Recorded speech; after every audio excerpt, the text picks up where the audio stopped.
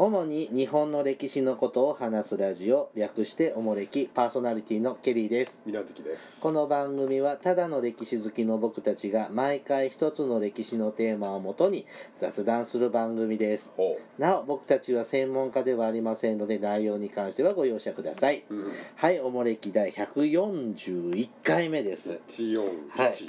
えー、っともうねすっかり5月も末になってきてますがえーっと、高いですね。はい暑いですね今年はね。ね。えーっとちょっとまあ収録に時差があるんですけどあのキャリーさんねあの3月にほ 春休みですね四国に行ってきたんですよ。うよく行ってますね東京行って四国行って。そうでしょなんか今年すごいですよね。京都も行ったんだよね。はい京都も行ったしね四国はね讃岐と伊予の国に。高松と。瀬戸内ばっかり。そうですね香川県と愛媛県で。であのーケリーさんはあの社交的なんで、ほ うん、あのポッドキャスターをやってる人たちとも多少交流があるんです、うああそうですか。ええあなたと違ってね、いやいや私あれで社交的なはないわけじゃないであのまあちょっとうまあ交流してる方たちと、まあ、四国にいる四国で活躍されているポッドキャストをやってらっしゃる方たちのところに、まあ会いに行こうよと押しかけに行こうよというあのずうずうしいあのイベントに参加してきたんです。ほうほうほう。で、えっ、としいまず最初は香川に行って、はい。えっ、と南国さだ南国さざ波放送局というねポッドキャストをやったやってらっしゃる方が香川にいらっしゃるんですよ。へでそちらの、えー、とパーソナリティというかプロデュースをやってるえだから僕らみんなこうやって自分らでプロデュースして喋るのばっかりじゃなくどちらかというとなるべく裏方の方をやってるやつで堀川さん。と,、えー、とその番組に出てらっしゃるアシャミンという。アシャミン。アシャミンさん、はい。お会いしていろいろポッドキャスト業界の話を苦労話とか裏話とかはあ。い、聞いてきたんです。で次の日はねあの愛媛県の松山の方に行きまして、はい。あの野木らひラジオのギノさ松山といえば。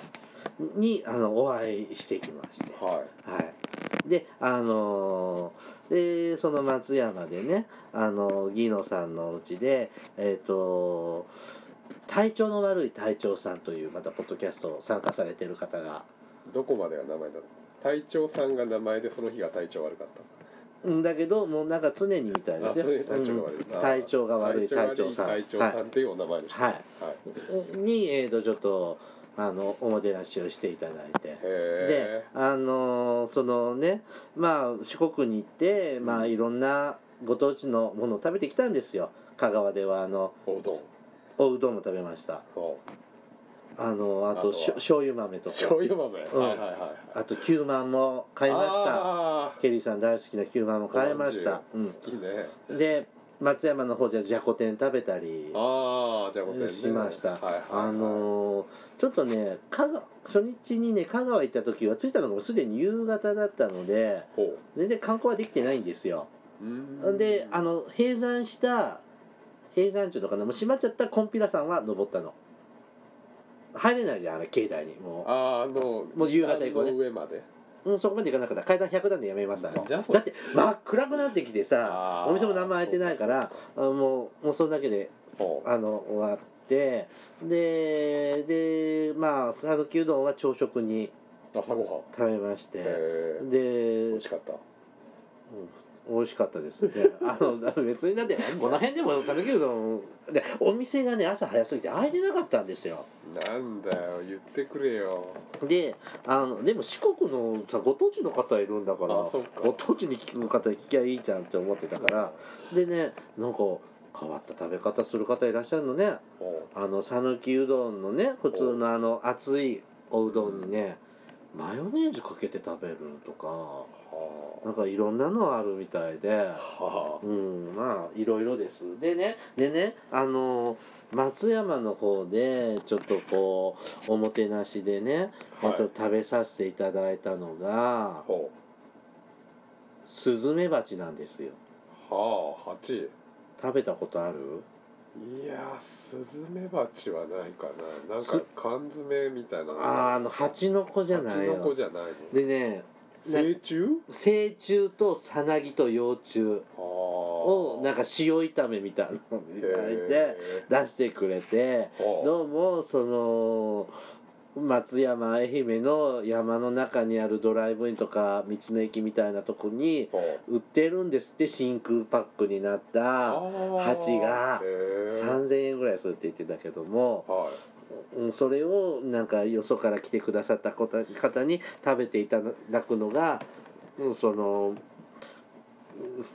あの野木らひさんたちのどうも伊予流のおもてなしなんですって。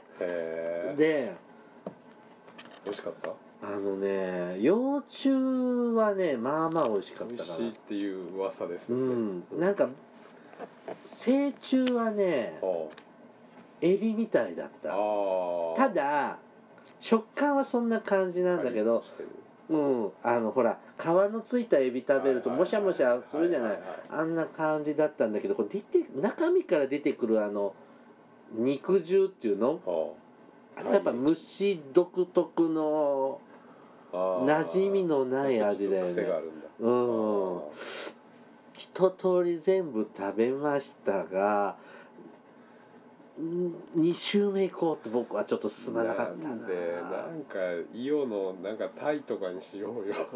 なんで蜂の子なの？だってそれはそれは水月さんからじゃあ野木らきさんに。いや僕が行った時はぜひ。蜂だって。瀬戸内の蜂だって。タイ。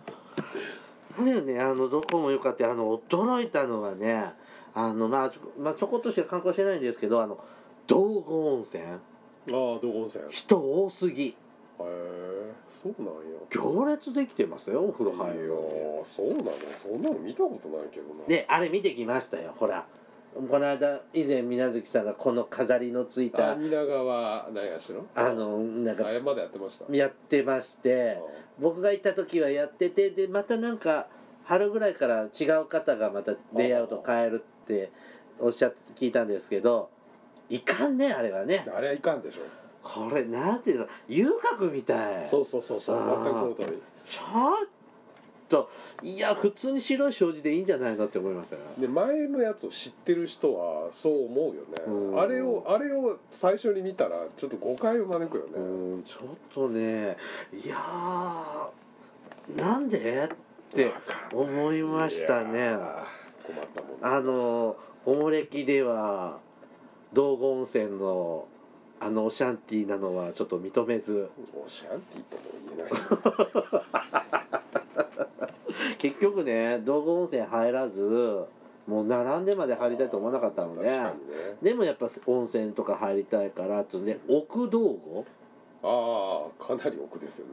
うん、にあの連れてっていただいて西日本最大級の露天風呂があるところに連れてっていただいてまあ寒いやら気持ちいいやら真っ暗だわ、う。ん、ちょっと昭和チックな作りで。そうですよね。古い建物。なんかロープウェイかなんかあるよね。あそこもうロープウェイやめたんだあって。そうなんや。なんか維持費かなんか金かかるのでもうやめちゃったって聞きましたが。はい。まあちょっとねあの大変あのお礼を言うのが遅くなったんですが四国でお付き合いしていただいた方。ね。本当にいつもありがとうございます皆さん言ってないですけどケリーさんはお世話になったのでありがとうございました。間接にありがとうございさあえーと本題に入りたいと思いますが宮月さんはドラえもんの映画は見たことあります？旧作はありますあ信代バージョン？そうですね。もうさ信代さんからわさびさんに変わってもう10年ですよあ今の人わさび。わさ水田わさびさん。ああなんか最近よく顔出してる人ですああまあね顔出しはねしてますね。あのちょっと口の大きい。変な声の人ですよね。変な声まあ声優ですからね。いろんないろんな声が出せますが。あのまあ今も映画の方ドラえもんの映画ってやってるじゃないですか、はいはいはい。でえーもうゴールデンウィークも過ぎてますから、うん。ドラえもんの映画の上映はもう終わってると思うんですけども、まあ、毎年春はドラえもんの映画が上映されて今年はですねあの、のび太の日本誕生うん。という映画リメイク版ですよリブート、名前はそうだよね。前のあれでもあったよね、うん、今は今今年のは新日本誕生って。あ基本そういうあれなの？そうそうそう。旧作をあのね2リメイクばっかり年おきに2年おきにリブートみたいなリメイクみたいなのをあして 1, 年もうもうで今度は全くの新作っていうの？オリジナルストーリーのと交互にやってる感じありますね今ね。あであの日本ののび日本誕生のび太の日本誕生はあのもうドラえもんの映画の中では一番売り上げが良かったっていうのなんていうんですか？旧作で。旧作でも今今も昔もあ新旧込みで投資で？一番高校収入が良かった作品なんですね。であの話はのび太やドラえもんたちが7年前の日本に7 7年前かな？7年前。しなな7万年前。7万年前。いや7年前じゃダメだよね。映画にならないよね。次の展開があるのかなと。数万年前に行ってまだ日本人が誰もいない時代に行って自分たちだけのパラダイスを作ろうというほという話が始まりなんですよ。でまあ私たちこう日本史の勉強をしていると、ううん。まあ昔から日本日本にに人が住んでたのがほ化石っていうの？うはい。そういうので分かってるわけじゃないですか。うん。原始の時代にどこ辺どの辺りに日本あ人間がうん。いたのかなっていうのをちょっとほチェックをしてみたいという回にします。うチェック。チェックですね。なんとか人とかいたじゃん。三日美人とか。ね。ちょっとその辺を。でそれが今日の日本人なのかどうかはまたねうん。わからないんですけども、うん。まあ、古代ですね。そのこれ旧石器時代でいいの？旧石器時代に日本人がいた形跡うんのあった場所をですね。紹介します。うんはいまず一つ目。浜北人。うん。知らないこんなの。えっ、とこれはね発見場所が静岡県浜北市。現在のうん。浜松市で発見された。浜北ね。うーんこんなのいたの。えっ、と1960年頃に発見されました。えっ、と浜北人のその化石でいいの？これは化石人骨。化石人骨は女性の頭部、うん。えー、と鎖骨上腕骨などが見つかりました。うん。で調べてみると1万8000万年あごめん1万8000年前の人の骨だろうそうですね。と1万8000年前うん。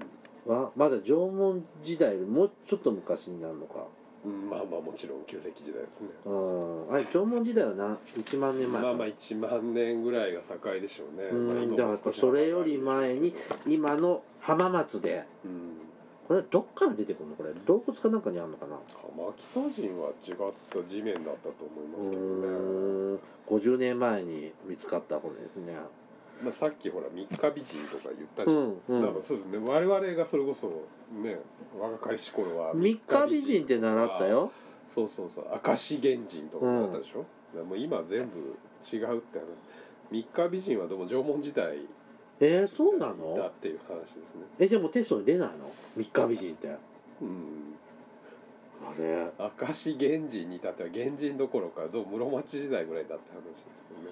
あそうですじゃあその辺はちょっと後でまとめてあいきましょうか。ダメですか。うん。続いて港川人。はあ。これは習ったあよ。本当に？あれでも港川の港ってあのこの字じゃない公安の公じゃなくさそれ違うでしょ。港川の合大戦。港の港でしょ。僕違う？これは勘違いしてこるのかな？れは違う、はい。沖縄ですよこ港あの港湾の港ですね、うん。に川ですね港川人。これ沖縄県八重佐町？八重？れ八重瀬。八重瀬町でえっ、と1970年前後に発見されたうん。えー、と男女4体分の全身骨格などがあり、えー、とこの港川人もやっぱ1万8000年ぐらい前うん。の人の骨だうんなんか沖縄とかいそうね。うん。なんかそう？でもなんか沖縄にしてもさはい。この静岡でもなんか黒潮に乗ってきてそう来てそう来てそうな感じ。そんなわけないのかな。でもそれもどのほら日本人ってほら大陸から来たとか黒潮に乗ってやってきたとかあの、うん。シベリアからやってきたとか、うん。いろんなルーツあるじゃないですか、うん。それまでは分かんないのかなこれじゃ。どういうこと？このその骨が。浜北人とか港川人とか。浜北人がどっから来たかってこ何系なのかとか。とああどうなんでしょうね。ちなみに港川人のこれ資料私たちが見てる資料に全身骨格と復元 CG がうん。ありますね。まあぶっ細工ねこのまあ大体この系はブサイクですよね。これは本当南方系の原始人って顔してるねこれね。えーっと水このまあ4体出てきたんですが、うん。そのうちの1体がちょっと資料に載ってて成人男性で推定身長は155センチ。うん。えーっと現代人と比べて小柄で上半身は華奢。華奢であるが手足は体の身体の割に頑丈である、うんえー、と最近の研究では港川人の形質に縄文人と異なる点が多いことからうんこの港川人は縄文人の先祖とすることは難しいと考えられています。うんで、えっ、と、下の顎の骨でいいのかな？うん。の特徴はオーストラリア先住民に近いんじゃないかという指摘がああるそうですから、そのいわゆる、あれだろうね、こう東南アジアのあたりから島をまあまあ渡って、こう海をね行き来してる人たちでしょうね。ねえ。はい。さあ、続いて、山下町道人。うん。うんなんじゃこれ。山下、山に下に、町に洞窟の洞。そうそうそう。えーと。山下町にある洞窟から出た人骨でしょ。沖縄県那覇市で1968年に発見されました。うん。えーと、子供の大腿骨と顎の骨顎。が見つかって、うん。3万2000年前の骨人だと推定されます。おでもっと昔ね、3万年前って、ー後進生末期にななりかかってくる頃か。まあそうですね。氷河期の頃？氷河期ですね。ほう氷河期の頃沖縄あったかいんだよね。寒いけどあったかいんだよね。あったかい。うんまあ寒いけどあったかい。そうね。だって雪なんかよほら今年の冬にね40年ぶりに雪降ったなんて言ったじゃない。あったあったあった。ねえだからまああったかいところにそりゃいるでしょうけどね。へえ3万2000年前。すごい遠いですね。続いて、えーピンザアブ人。はなんじゃこれ。あなんでしょうね。ピンザアブ人沖縄県宮古島で発見されました、えー1980年前後に発見されました、うん。えっ、と頭頂骨うん。後頭骨うん。仙腸骨。仙腸骨。仙腸骨って分からないけど今、まあ、頭が出てきたのね。うん。えっ、とこれはね2万6000年前。もう一丁下地原道人。うん下の地面の原っぱの洞窟の人。はい。沖縄県久米島あでー1980年代半ばに発見されうん。乳児の下顎骨。下の顎の骨右上腕骨上腕骨右上腕骨うん。右大腿骨などが、うん。えー1万5200年前の骨だということですね、沖縄多いね。これはあれなんですよ。土壌が土があ本州はあの火山なんでうん。どうしても酸性の土が多いんで骨溶けちゃうんですよなるほど。サンゴ礁なんで比較的人骨が残りやすいんです。ああそうなんだ。だってこれ5つ紹介したうち全部沖縄沖縄じゃない、うん。しこの浜北市以外はね。へえもう確実に3万年前からはいたってことなんだね。うん。で私たちが子供の頃に習った三日美人とか明石人とかっていうのがあはいさっきも言いましたように実は昔は原始人の骨だと思われてたのがそういう数万年前の人じゃないということが、えー分かってきました。えー、とちょっとそこも紹介しますね。僕もちょっと知ってるのもあれば知らないのもあるんですが、まず一つ、クズー人。クズ。うん。えー、と植物のクズですね。そうやね。に生まれるでクズ。ー。はい。栃木県佐野市から出土した出てきた原始人だと思われましたがこれは縄文以降縄文時代以降の骨だということが分かります。最近の研究で分かり、うん。えー、と今回の紹介には至りませんでしたね。はい。続いて、えー見読めないな。ひじり抱き人。聖抱き人？はい。聖ってあの生ですね。あの八つ橋の聖ですね、はい。に地獄の獄違うか。なんだっけ？あの、ね御嶽山。のそうそう。ね。極。ですね。えっとこれ大分県佐伯市から発掘発見されましたがこれは中世以降の人の骨だと。うん。最近の人じゃないですか。そうですはい。牛川人牛川。これは愛知県と牛川って牛にリバーの川ですね。三流れですね。はい。えー、と、愛知県豊橋市で発見されましたが、えー、と、この上腕骨は動物の骨だということが分かる。人のじゃないんだね。うんはい。で、三日美人。はいこれは静岡県浜松市ですね。うんみかんで有名ですね。三日日みかんねこれ縄文時代早期の人の骨だということです。うんあと、明石人。うん明石源氏って言ってたのにね。昔源氏昔はねそれこそ源氏だって言ってましたけどえー兵庫県明石市で、うんこれは現代人の骨だろううんということで、これも昔の人じゃないということで、もうこの辺教科書に出てこないんだ。そうですね。まあまあだから縄文期の人骨とか、まあ、人骨自体はね今言ったようにあんまり出ないんで、うん。特にこういう石器時代のものって、まあ、そういう扱いでしょうね。あーなんか明石源人とか牛川人と三日美人は僕覚えてるよ。うん。習ったもん。そうでしょう。これ、やっぱあれですか、その、年代の測定法の技術の進歩で、ああまあそれもあるでしょうね。いろんなやっぱり技術的な進歩とか。この動物の骨だってのはちょっと、こんなもん分かんないもんなのかね。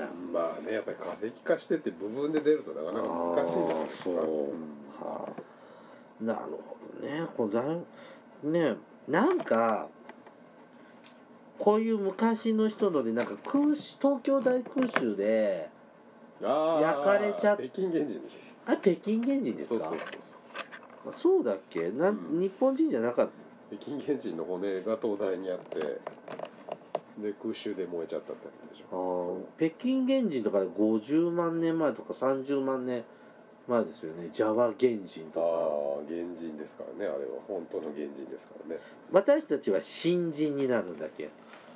そうです。原生人新人？もちろん新人いや原生人類ですね。うん。なんかあれだエンジンエンジン原人求人新人。あでもすあのその辺をよく覚えてないな人類の進化っていうのかな。ああまあ世界史ですうよね、ん。いややってアウスラロピテクスとか。僕なんか万博でルーシーは見ましたね。なんかルーシー？ルーシーって名付けられたエンジンかなんかの全身骨格じゃないけどアフリカの最初の人間みたいな。一回その辺ね科学館のはあ。の企画展特別展で、まあ、人類の動物の進化みたいな特別展でやっぱ人類の進化コーナーがあって見るといろんなホモなんとかとかはあ。いるのね。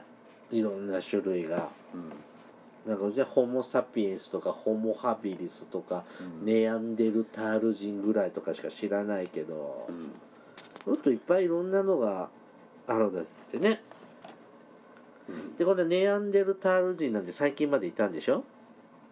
最近までいた。あうん。1万年ぐらい前まで一緒にいたんじゃなかったね。そうなんですかうん。へえだからこのほら私たち人間って人間しか知らないじゃないですか。別の亜種の人間って見たことないじゃん。ああそうですね、うん、だってでも他の動物なんかさいっぱい違う種類いるじゃんかお猿さんでもさあああんなのどうどういうふうに映るんだ映ってんだろうねってよく時々ふし悩む時があるあ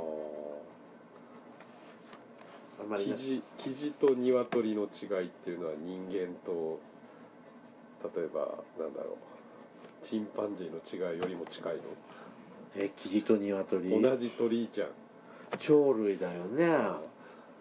人間とチンパンジーの差と距離的には似たようなもうちょっと離れてるんじゃないです？どっちが？人間の方が？人間とチンパンジーってもうほぼ一緒なんでしょ？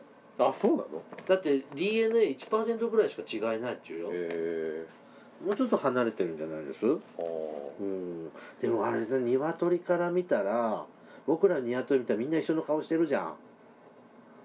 ーであんなうん？じゃあえ白い鶏と黒い鶏の違いは白人と日本人ぐらいの違いだ。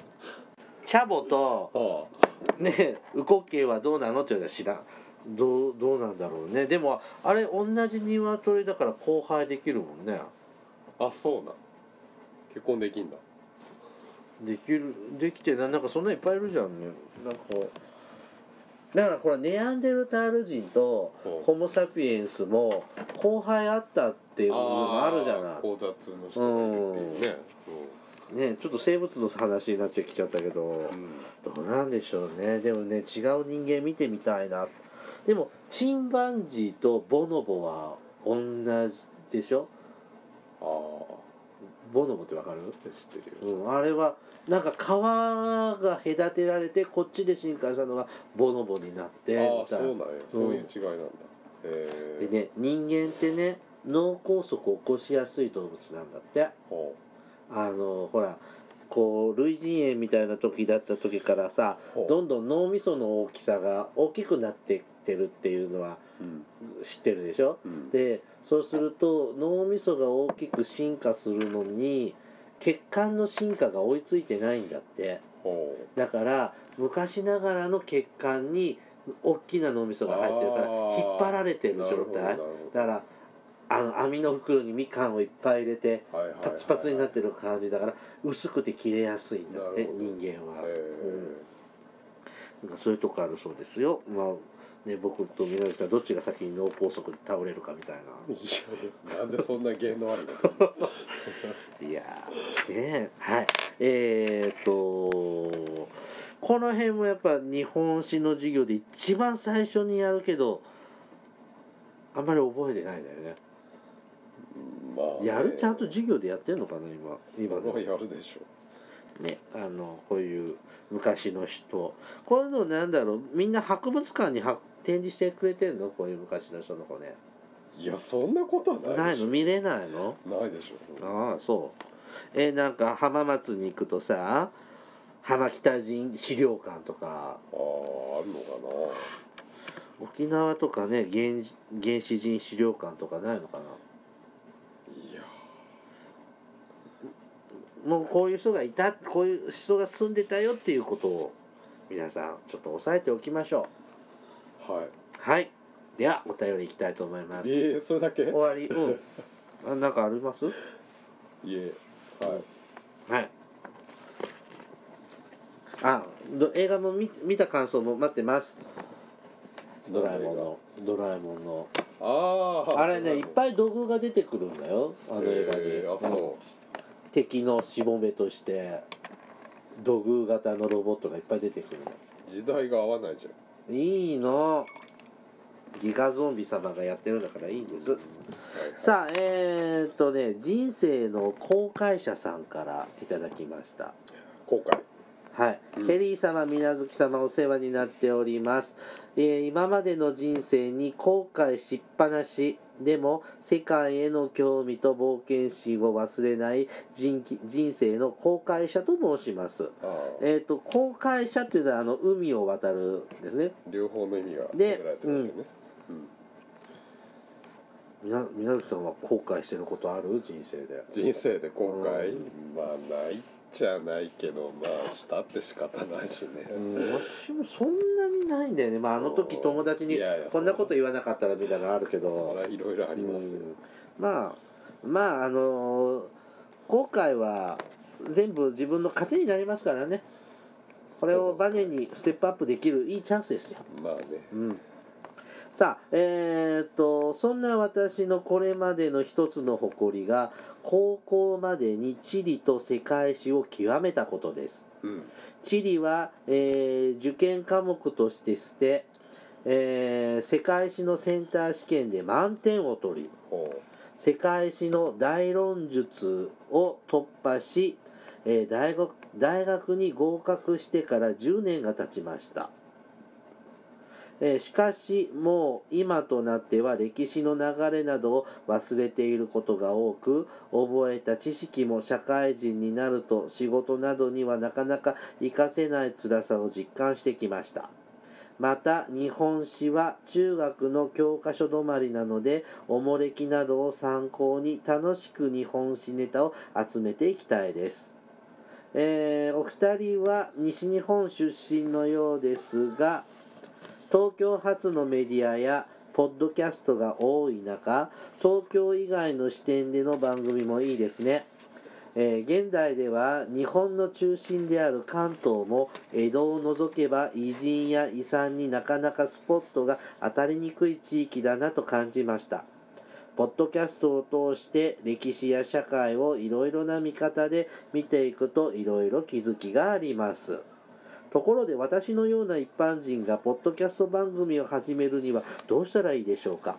毎回変わる可愛らしい背景の画像作成や音声の収録とアップの方法などはどうされているんでしょうか？というお便りをいただきました。ううん地理と世界史選択して世界史でセンターで100点だってね。ああ満点はねなかなかすごいですね。ケリーさんこの間の日本史で70点だったの。にそうやね。うん。すごいね100点って。世界史の方が難しくない？日本史より。まあまあそれはねいろいろいい捉え方の問題もあるよね、まあいろいろあります。それで世界史がねちょっとねこう受験科目として多分敬遠するのはあのヨーロッパでこんな事件があった時インドではどうでした？とかって聞かれるともうまあ。こんがらがっちゃうちょっと現代史はもう世界つながってるからええ。まだ見えるけどそういうね東西のつながりが薄かった時代を比較の問題出ると僕うん。あそれでねちょっとね苦手になっちゃったのね世界史。もちろん興味はあるんだけどね。地理も面白そうですよね。うん何々愛知県では何の産業が盛んかとか。中学校じゃんそんなの。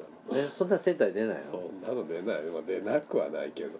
東京では。そんな単純なのは出ない。え太平洋ベルト地帯とか出ないの？出ませんよ。あそうなの？高校受験じゃんそんなの。あそうなんですか。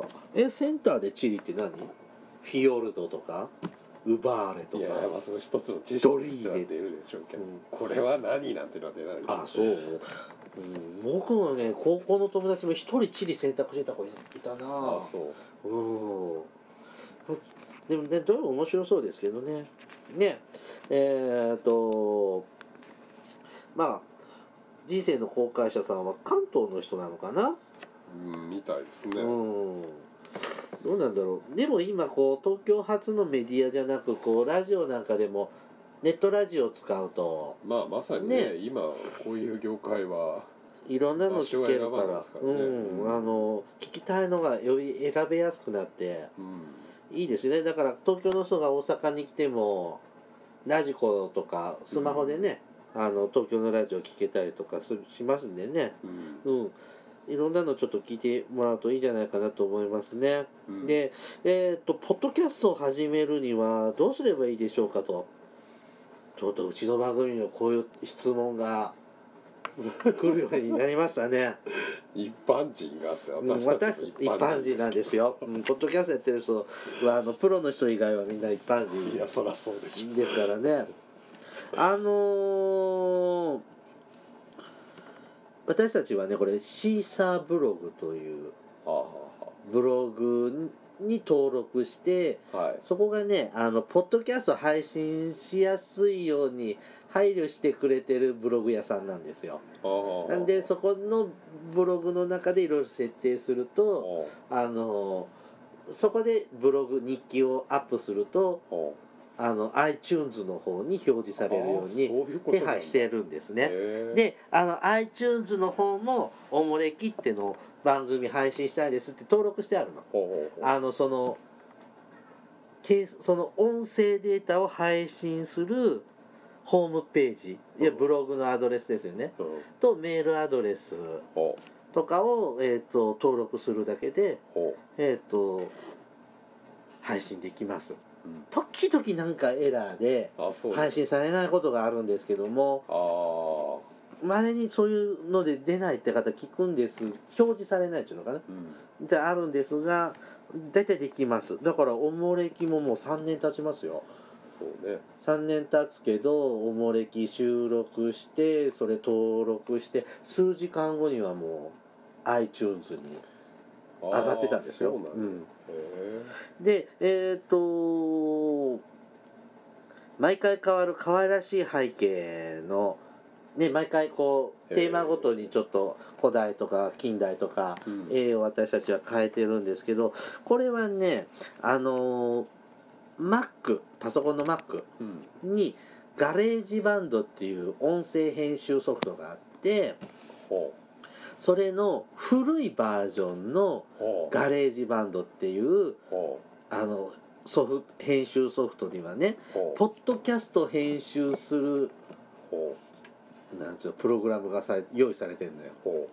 で、そこで、これ今、これ撮ってるの僕ら IC レコーダーで撮ってますけれども、ううん。これを、ほら、いろんな雑談撮ったりとか、後でオープニング足したりとかっていうのは、そのコンピュパソコンでやってるんですよ。あ編集をね、うん。はい。で、その時に今回はこの絵を使おうっていうやつは、そこに設定できるようになってるの。ああで、あの、こたつでワイワイ二人で喋ってる絵は、はいあれはシーサーブログの方に、あー。いわゆる表紙ですよね。はいはいはい。で、中表紙みたいなのは毎回のやつは、あの、 GarageBand ってソフトで、あそういうやっぱりソフトがあるんだね。そうそうそうそうそうそう。で、 GarageBand で最新版はその機能が排除、廃止されちゃってないんですよ。へえうん、で他の番組さんはどういうふうにやってるのかちょっと私は分からないんですがそんなに難しくないんでしょうね。ケリーさんでもできるんだから、うん。うんでどういう仕組みって言って分からない。説明できません、あああ理屈は分かんない。あそういうことですね、うん、あのぜひぜひなんかねほらやっぱおもれきさんを聞いて僕たちもポッドキャスト始めましたとかさそういうのも言われたいじゃないですか。ダメですよ。ライバルですよ。同じ番組はダメだよ。潰しとかない えらいえらい強気に出てきましたね世界史満点の人とか始められると困りますから。あでも世界史ラジオやってもらえばいいじゃん。あそう。あ他潰してもらおうか。ね、あのなんか交流とか持てると嬉しいなと思いますけどね。あのまた私たちで特にケリーさんがやってるので、まあ、ケまた何かあればあの聞いてくださっても構わないしあのもうインターネットにもねポッドキャスト載せるの、いろいろ載ってますので、まあの難しくないです。うん。で羞恥心がなくなれば簡単です。うん。ね、初めて収録した時カチカチだったのね宮崎さんね。そうでしょう。うん。でケリーさんも初めて撮った時はカチカチだったの。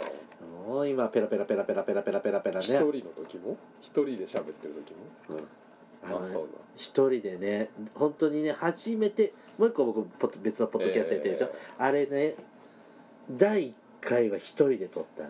ほもう10秒おきに言葉が詰まったりああ。呼吸がもう止まってきそうで緊張して「ああ。あのはじめましてケリーです」でストップをして「はあよし続き」みたいなの撮ったらもう今どこでも聞けない。柄にもないはい。もう今なんか余裕ですよ多分一人喋りできないね。ああやっぱこうやっぱかえってね。やっぱあ相手がいる方がいいのかもね、そういう人もいれば一人でやってらっしゃる番組もあるし、うん、あのーまあそれもいろいろまあともかく継続は力なりで続けてもらうと嬉しいな。またなんかそういうので始められたらご一歩いただけるとうん。おもれきからも紹介しますので、はい。宣伝効果大きいよはい。じゃあね、今日はここまでにしますよ。おもれきでは、えー、リスナーの皆様からのお便りを募集しています。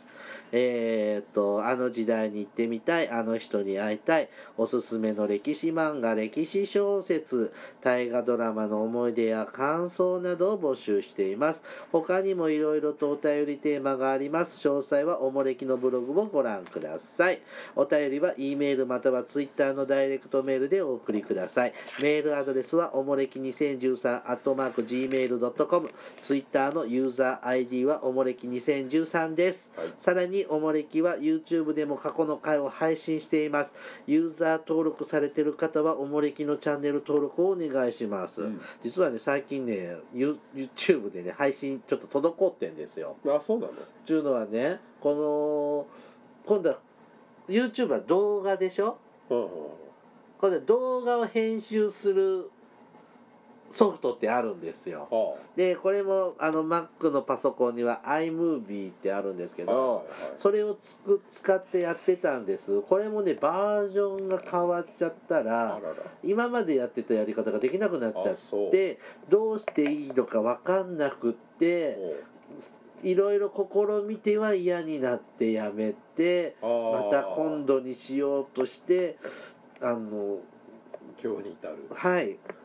ちょっと気分が向い気が向いたらまたちょっと取り組むし、あれはね本当に面倒くさいよねある日突然ソフトが変わったりとか昨日までできてたのが突然できなくなったりとかあんなにね、極端に配信とかガラって変えなくてもいいのにねって思うんです。で、で自分がこうどうしたらいいって思うのが、なんかヘルプとか見てもわかんないじゃないですか。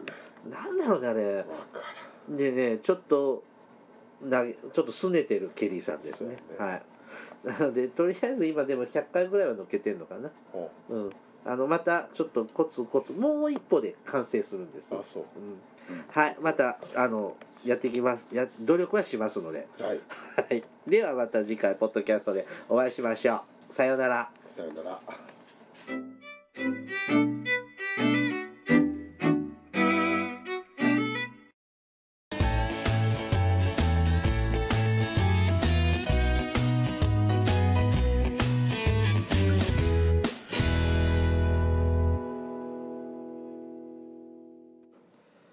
主に日本の歴史のことを話すラジオ、略しておもれきパーソナリティのケリーです。乃木くんよ。え、誰ですか、あなた？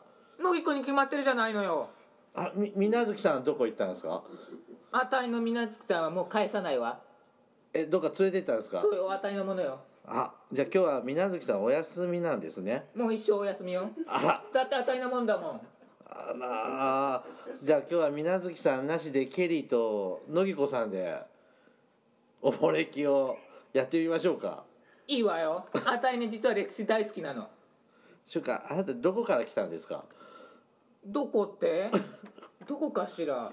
あたいのねデビューはね野木らひナイトなの。乃それ以来それ以前の記憶全然ないの。知らないわ。とあよその番組から来たんですね。そうよ。あいつもあいつもお便りをくれるのは乃木らきさんとはまた別の方なんですが誰それ？あそそういくんですね。わかありました。ちょっと待って。呼んでくるわ。せっかくだから。あ。だってあの野木らひ歴史のうん。メイン,、メインパーソナリティでも呼ばないとね、はいはい。野木らひさん。皆さんこんばんは。野木らひ歴史の野木らひさんです。あ聞いたことある。皆さんこんばんは。あ乃木らきさんはあののあの乃木らひ歴史でうちの番組えらく褒めていただいて。いやもう本当にもう大尊敬しております。もう歴史のあの見識の深さと水無月さんのポンポン出るあのうんちくの素晴らしさ。そしてあのなんといっても聞きやすさ。そしてやはりあの私大河ドラマが大好きなんですけど大河ドラマの話を結構取り上げてくれるのが非常にいいですね。あケリーさんには褒める言葉は特にないんでしょうか？あケリーさんはですね、はい。あの話し口調がねものすごく聞きやすいです。あありがとうございます。聞きあの聞き上手か問いかけ上手。聞き上手じゃない問いかけ上手。水月さんに問いかけるのがすごくうまい。他には？あとねあのもっと褒めてください。大河ドラマをねあの伊達政宗を取り上げるのがいいですね。私も大河ドラマの伊達政宗よかったです、あああの配役を決める。そうですねそれとかあのあやっぱりあの野木らひラジオでも確か言ったと思うんですけど、はい。戦艦大和の回がものすごく感動しました。すごい化石的な。ちょっと古いんですけど。そう。すごい一桁の回ですねあれね。あれはねもう本当にああやっぱりなかなか貴重な話ですよね。あの、まあ、原作者というわけではないんですけど、モデルになった方の話が。ちょっともうあなた喋りすぎよ。もうあなたの話面白くないんだから。ごめんなさいね。あなんかね。あ書いちゃったんですか？一言だけね喋らせるつもりだったんだけどね。すごく長いことねねね喋ってね。だって暗いでしょ野木らさんって。あじゃあちなみに乃木子さんはうちの番組で気に入ってるエピソードありますか？あたい。あねあたいね全部気に入ってるの。だってねがとうございます。水無月さんの声が聞けるんだもん。僕は？放送事故になっちゃう。放送事故になっちゃうよ。乃木子さんぼ僕はどうなんですか？水無月さんの声が聞けるんだもん。ぼ僕は別にじゃあいなくっていいいいってことですね。いやそんなことないわ。あ。だって水無月さんがいてくれるのはケリーさんがいるからでも。あ盛り立て役ってことですね。乃木子さんの気持ちよくわかりましたえちなみに乃木子さんは卑弥呼になりたいって言ってましたよね以前。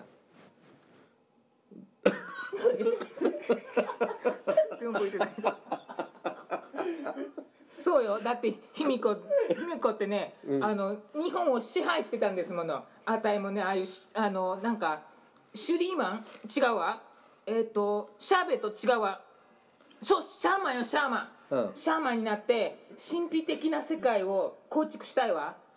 ああぜひなあなたならなれる思いますね。すごい難しいですね。だからね水月さんと以外でおもれきやるってとても難しいことが大変。ごめんなさい、よくわかりますごめんなさい、あのね、あのちょっとね、あ、あ申し遅れました、はい。私、あの坂本龍馬知識普及大使のギノと申します。ああそうでしたね。なんかねの暗い野木らさんと頭のおかしいぎあの野木子さんがねもうちょっと足よりまややりましたから。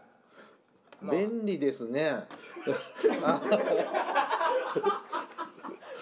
あちなみに坂本龍馬検定とても難しいって以前お便りいただきましたね、今振り返るとどうです？こう永久会員みたいななりはったんでしょう。そうです。あ一生タダで死ぬまでああの坂本龍馬記念館にタダで入ることができます。もう何回行かれたんですか？1回です。まあ、あんまり近くないもんね。近くやっぱり150キロぐらいあるんで。ああでもこう時々会いたいなと思ったらふらっと行ける。ただし、はい。坂本龍馬といえば11月15日なんですけど誕生日でもありお亡くなりになった日なんですが、11月15日行くと誰もでもタダですあそうなので一なんですか切恩恵を受けませんからあら。11月15日行ってはいけないんです。あじゃあ誕生日プレゼントも渡せないんですね。そうですね。ご香典も渡せないし。そうですね。あの11月15日はあの櫓が組んでて坂本龍馬と同じ目線の高さまで上がって龍馬のほっぺにチューしようのったらできなくないような距離のとこまで上がれるんですけど。え本当に？あのそれは桂浜の？あのああの高さ目線の高さは一緒です。あチューしようったらとダイブしないといけませんけど。あ 本当にあのたあれすごい高いですよね。事前に一筆書かされます。何かあっても大丈夫あの責任あそういう一筆ですね。一筆書いて上がります。えー、え何回チューしたんですか？えっとエア中は1回ぐらいですかね。あ のとかいう感じでちょっと飛ばしときました。今音拾えたでしょうかね。ああそうなんですか。ねあのとても楽しい野木らひラジオと野木らひ歴史ああの実はあのあと一人ちょっといるんですよ。ああ。の野木らひ家には一家の長がおりまして。あもう一人も出るんですね。もっとほとんどほとんどあの出番がないんですけどあのせっかくはい。おもれきさんに呼ばれたんでちょっとあの野木尾さんも呼んでいきたいと思います。野木尾さん野木尾さんおお呼んだか。俺が野木尾だ。どうもこんばんは。あ野木尾です。はじめましてケリーですはじめまして。いつもあの他3人がお世話になっております。いえいえ。野木尾さんは普段何をされてはあのるんですか？仕事しかしておりません。ほとんど出番ありません。あー結構はた一家支えるのに。一家さあのな他の3人が遊んでばかり喋ってばっかりなんでバカバカやってるんで私がもう働いて支えるしかないんです。今日はお疲れのとこ来ていただいてありがとうございます。こちらこそあのあの3人よろしくお願いします。いやいや。ちょっと僕喋り下手なんでもう次変わりますね、あはいじゃあ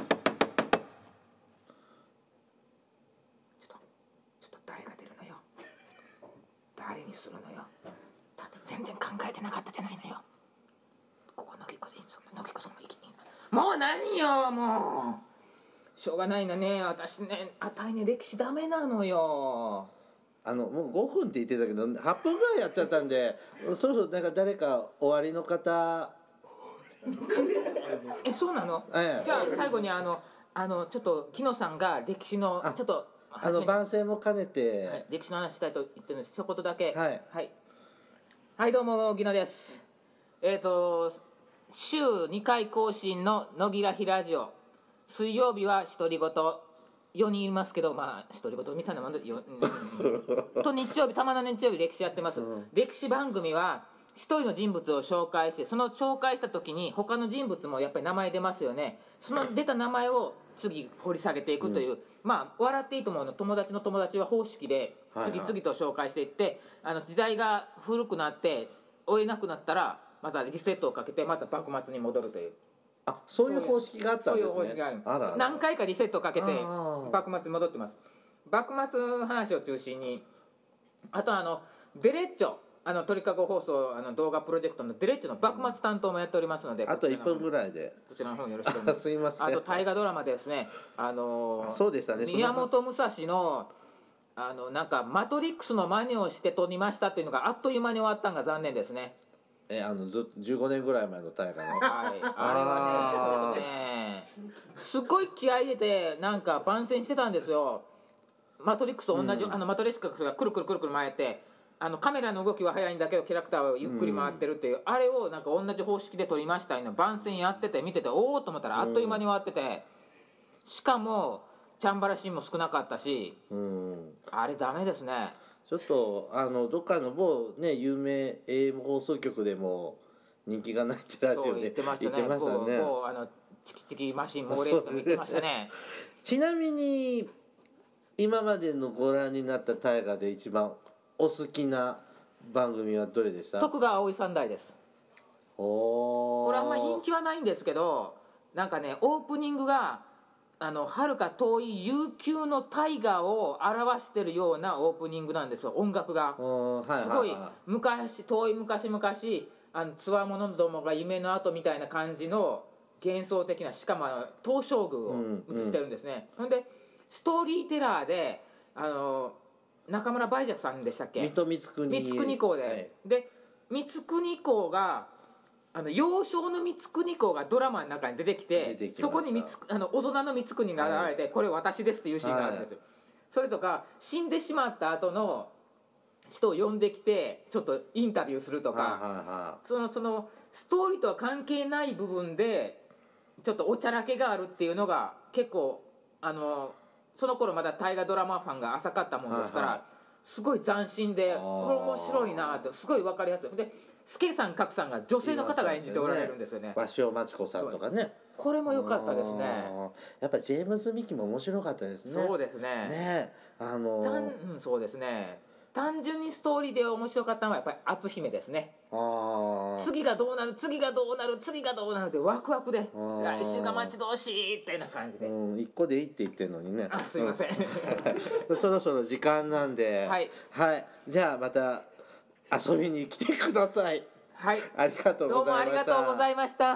待って待ってあたりも一言喋らして。乃木子よ。乃木子もたまに出てるから。もう切りますよ。切りますから。たまに出てるからたまに出てる